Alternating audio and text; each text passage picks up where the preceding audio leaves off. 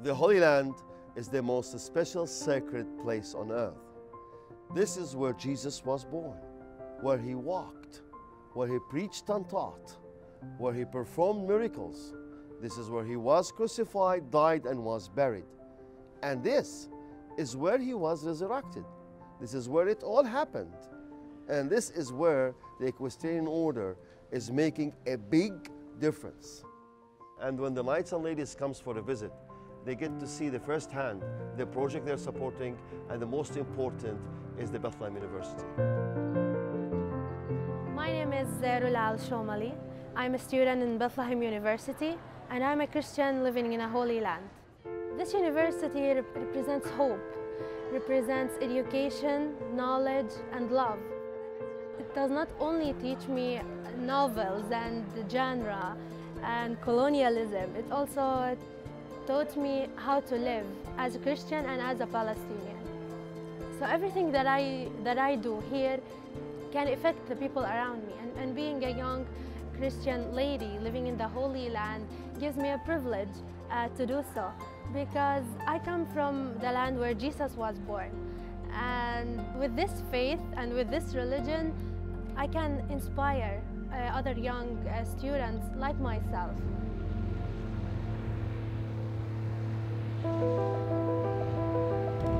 It's very important for the members of the Equestrian order to come and see the good works, but also it is so important for them to experience the Holy Land.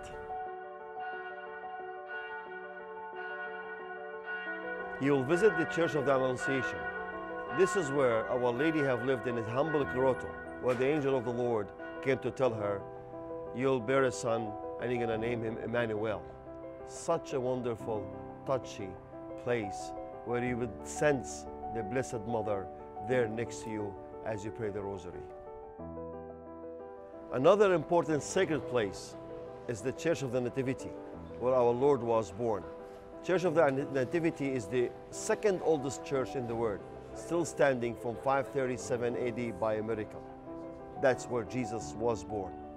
This is where the Word became flesh and dwelt among us. Well, the pilgrims would come down in tears to touch that very spot where Our Lady gave birth to Jesus. After the birth of our Lord, they went to Egypt and they came to Nazareth to live in a cave, in a house. St. Joseph Church is built in Nazareth over the very house where the Holy Family have lived. At the beginning of the public ministry of our Lord, he was invited to a wedding in Cana. That's where he performed his first miracle. And there where we bring our groups, the married couples will renew the vows. all the days of my life. Well, we've only been married 23 years, so we're still kind of newlyweds. Uh, but it was, it was great. Uh, it, it's, it, it, it's always good to focus back on um, why you, why you love the one you love, why you did what you did, why you're making life together. We were looking into each other's eyes. We've spent a lifetime together. It was deeply meaningful for us. We ended up putting our foreheads together, and I'm watching the tears go down her eyes, and it was, again, like so many aspects of this trip, just deeply moving for me. So it was very, very special. It's amazing. It's really amazing. Especially when we meet couples that are 50 years being married, or 30 years, or 20 years. It feels like they are really ready for a honeymoon. My first Jesus moment on this trip was in the Sea of Galilee because I could look out and there weren't a lot of buildings, there were hills, and I could visualize that I was looking at what Jesus looked at. we have the synagogue where he stood and taught. We have the remains of the house of St. Peter, the Prince of Apostles, where he stayed and lived for three years, most likely with our Blessed Mother. From that beach, he called his apostles. There, he, he taught, preached, performed so many miracles. That's where he told them, if you don't eat my body and drink my blood, you won't inherit the kingdom of God. One of the most beautiful places we see by the Sea of Galilee where our Lord started his public ministry is the Mount of Beatitudes, where our Lord gave us the way of life, to live on earth in order to inherit the kingdom of heaven. Basically, there's five pages in my little Bible with him talking nonstop uh, and ta- teaching us how to live. To sit there and read that in that place, in that setting, it was uh, very powerful for me. The upper room is built on the location where our Lord had his Last Supper and instituted the Eucharist for us. This is where the Holy Spirit came down on the apostles. That is the spot of the first church on earth. And from there, the church went to the whole world. After the Last Supper of the Lord Jesus, as we read in the Gospel of St. John, chapter 18, he went down to the Garden of Gethsemane, where on this very rock we, we always celebrate Mass. It feels heavenly for every pilgrim after receiving the Eucharist to kneel and touch the very rock where our Lord sweat turned into blood and dropped on that sacred rock. I just, it's like I could, I could see him and I could feel, feel what he must have been feeling. And it was just so powerful. From the Garden of Gethsemane, our Lord was taken to the house of Caiaphas, where he was tried, where he was put in the very dungeon that we as pilgrims goes down to experience and feel some of our Lord's agony. We do the stations of the cross, of what we call it the Via Dolorosa. They walk and experience the market streets of Jerusalem, walking the same path from the Antonius fortress to the hill of Calvary where our Lord died on the cross. We learn the torment that Jesus had gone through, but to be on the spot where he was and to have the, the feelings. I mean, the tears were flowing down people's faces just knowing that we were on the same spot as he was.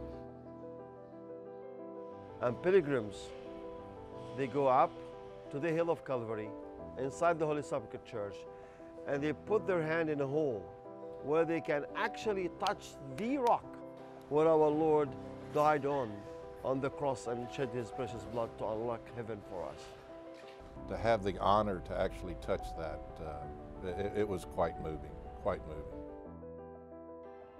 One of the privileges for the Equestrian Order members when they come on the pilgrims, they participate in the procession to go into the empty tomb where words are said welcoming the members.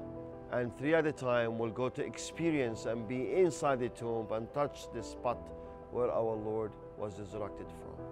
I'm not Mr. Emotional, but that did it for me. Um, it was moving, um, moving beyond words, really. We did a high mass with the monks, and I got to do the reading. And I've read the Bible my whole life, I've listened to scripture my whole life. I have never felt the Bible, I've never felt scripture like I felt it this morning. It, it, was probably the most moving thing I've ever done in my whole life. All of this, you're going to find it in one place. It's the Holy Land. Find a reason to come to the Holy Land is to support your Christians, brothers and sisters in the faith. They are really suffering here and they need your support.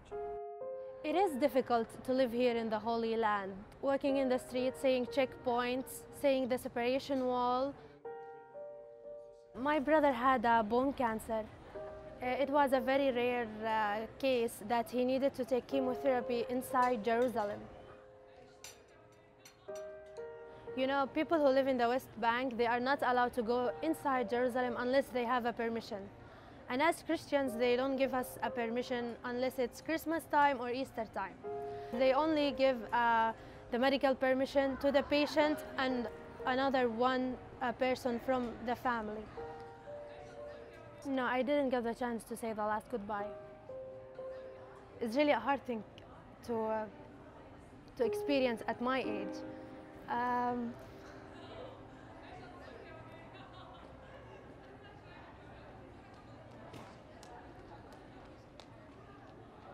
well, it was it was hard for my parents uh, to say goodbye to their son. Um, sorry. We are being mistreated here right in the heart of where Jesus Christ born and lived. It's, hor- it's horrible what you see here in their persecution and to know that they're going through the things from the, you know, that Christians have gone through for so many years and it's still going on. I lived all my life knowing that we're occupied, that we live in a very difficult situation. But of course, on the other side, uh, we're, the son, we're the sons of hope and love. So we still see uh, this small light in our, li- in our lives. And I'm really um, invite people to come, to come home, because that's their spiritual birthplace. It will change me. I think I'll have a better understanding, a better meaning, a fuller picture, and hopefully uh, make me a better person for Christ. And I, I know that this has changed my life, and I wish I had done it sooner. This really gave me a better appreciation for what I still need to do for Christ. And there's no place on the planet where that takes on a deeper spiritual and emotional perspective than right here in the Holy Land.